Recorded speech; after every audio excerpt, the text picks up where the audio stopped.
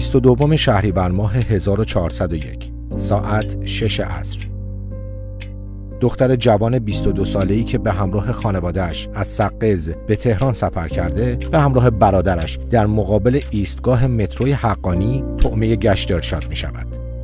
برادرش می‌گوید در هنگام بازداشت به مأموران گشت ارشاد گفته ما در اینجا غریبیم. محسا بازداشت می شود.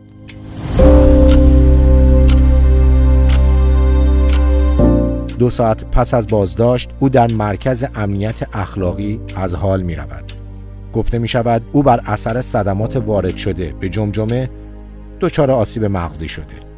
محسا از خیابان وزرا به بیمارستان کسرا منتقل می شود. تصویر دختر جوان روی تخت بیمارستان در حالی که مشخص است امیدی به ماندنش نیست در شبکه های اجتماعی پخش می شود. حالا دیگر او غریب. همه نامش را می دانند. محسا ژینا امینی بیمارستان کسرا 25 شهریور ماه 1401 محسا جان خودش را از دست می دهد. مردم خشمگین و مسئولین بی خبرگزاری های وابسته به جمهوری اسلامی دست به کار می شوند. فیلم دوربین های مداربسته پلیس امنیت اخلاقی را پخش می کنند. تلاش برای سفیدشویی گشت ارشاد از سوی رسانه های وابسته به حکومت آغاز می شود. اما به نظر می رسد هنای جمهوری اسلامی دیگر برای مردم رنگی ندارد.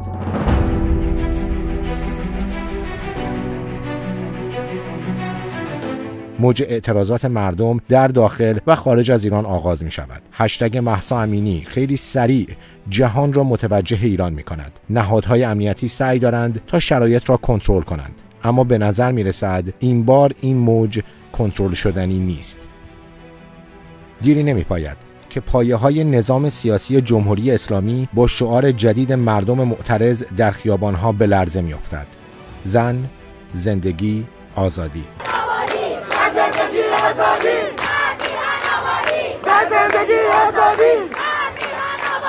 اعتراضاتی که با همیشه متفاوت است. مردم جان به رسیده دیگر ترسی از گاز اشکاور گلوله های ساچمه‌ای و حتی سلاح جنگی در دست مأموران امنیتی ندارند.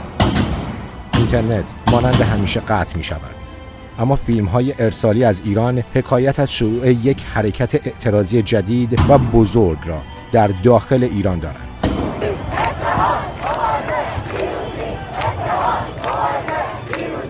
خواسته مردم این بار با همیشه فرق دارد.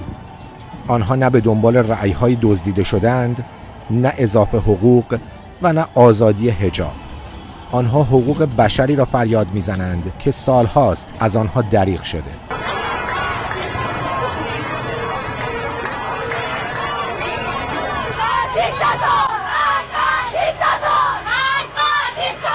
تصاویر رسیده از ایران حکایت از شرکت گسترده قشر جوان جامعه را دارد.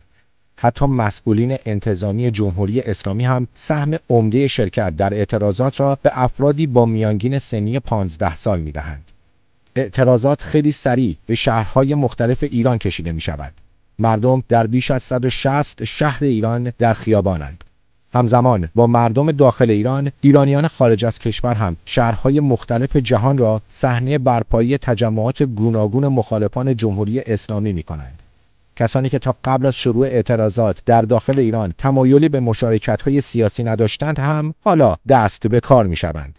جهان حالا یک ایران یک پارچه و متحد را می بیند.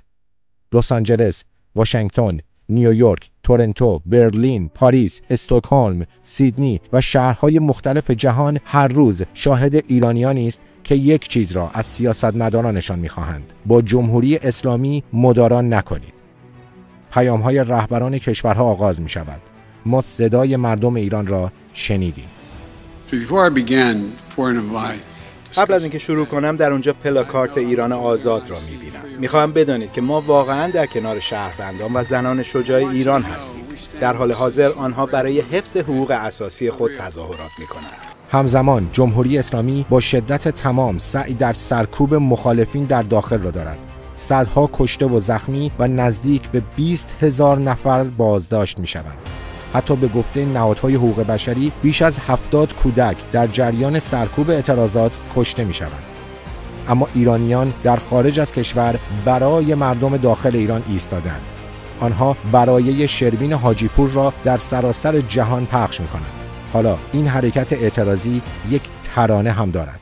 برای دختری که آرزو داشت به سر بود برای زن زندگی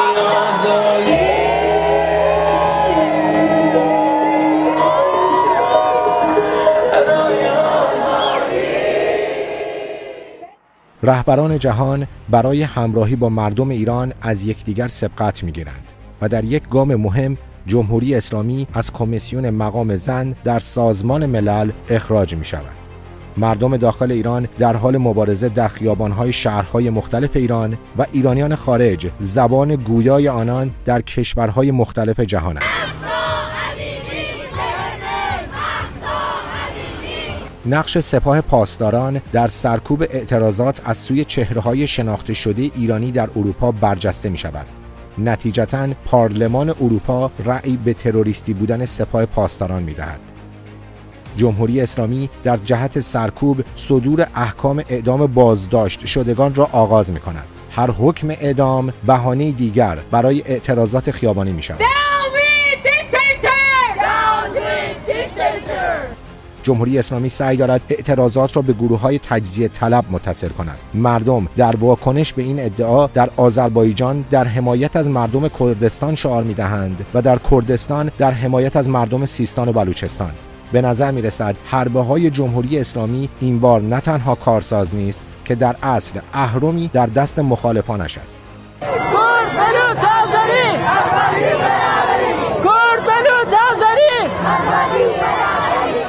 مردم داخل ایران از شرق تا غرب و از شمال تا جنوب با هم هماهنگند از اعتراض گرفته تا اعتصاب. آنان می‌دانند که چه می‌خواهند. در خارج از ایران هم ایرانیان در شهرهای مختلف جهان با هم هماهنگند از برگزاری تجمعات گرفته تا درخواست از نهادهای بین المللی و سازمانهای مختلف تا آنجا که جیل بایدن بانوی اول ایالات متحده بر روی صحنه جوایز گرمی می رود و جایزه بخش ویژه موسیقی برای تغییر اجتماعی را به ترانه برای شروین حاجیپور و با شعار زن زندگی آزادی اهدا می کند.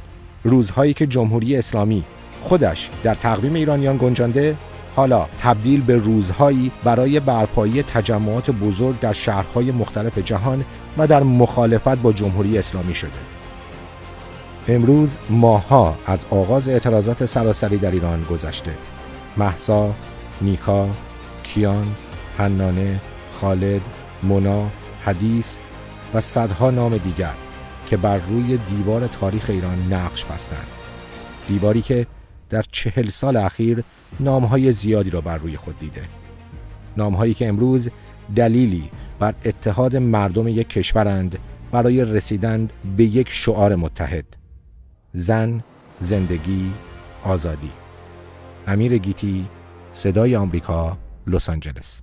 زن زندگی آزادی! زن زندگی آزادی!